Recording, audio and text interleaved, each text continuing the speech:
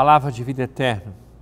Do Evangelho de São Mateus, capítulo 22, versículos 34 a 40.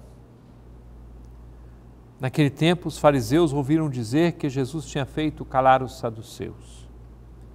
Então eles se reuniram em grupo e um deles perguntou a Jesus para experimentá-lo: Mestre, qual é o maior mandamento da lei? Jesus respondeu: Amarás o Senhor teu Deus de todo o teu coração de toda a tua alma e de todo o teu entendimento. Esse é o maior e o primeiro mandamento.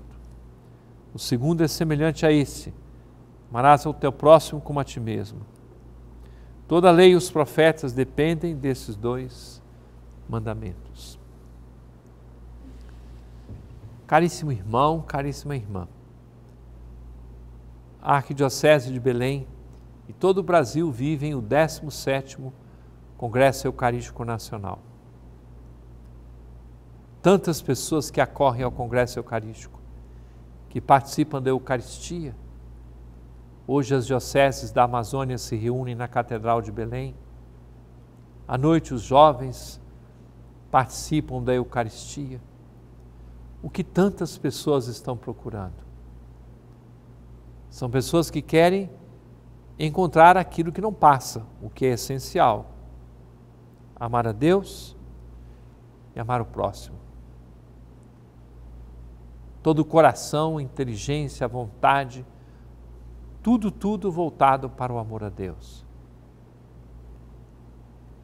E por causa desse amor de Deus, e para fazer a sua vontade, o segundo mandamento que é semelhante a este, que é o amor ao próximo. Nós temos uma grande árvore da nossa vida cristã. O fundamento, a raiz, amor a Deus.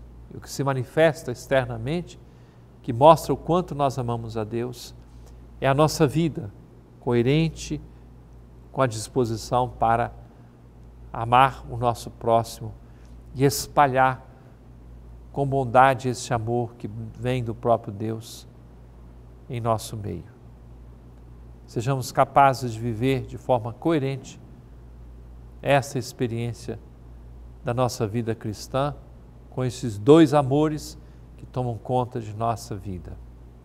É palavra de vida eterna.